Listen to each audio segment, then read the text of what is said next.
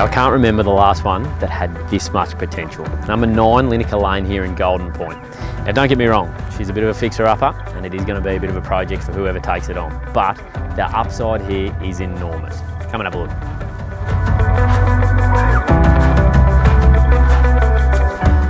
Now, the place has been through multiple generations of the same family since day one, with the last owner residing here for some 70 years.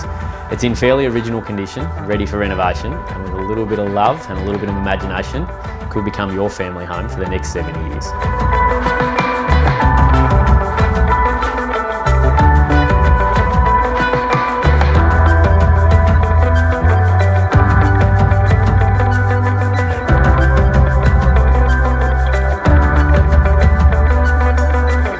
We're set on approximately 645 square metres of land with huge street frontage. So with council approval of course, there's the ability to add a carport to the existing home and then subdivide the land for a second dwelling.